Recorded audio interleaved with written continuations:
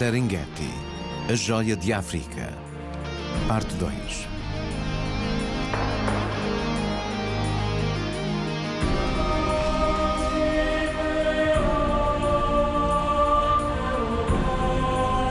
Estamos no noroeste da Tanzânia, numa das concessões adjacentes ao VIP Safari Club de caça. O Parque Nacional do Serengeti.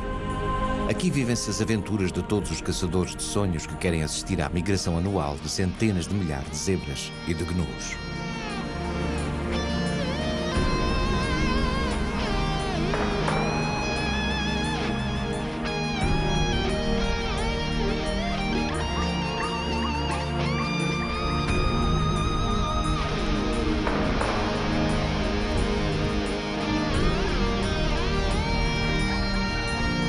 A planície do Serengeti é conhecida em todo o mundo por seu incrível número de animais, particularmente do das aves, que aqui é bastante variado, especialmente junto aos poços.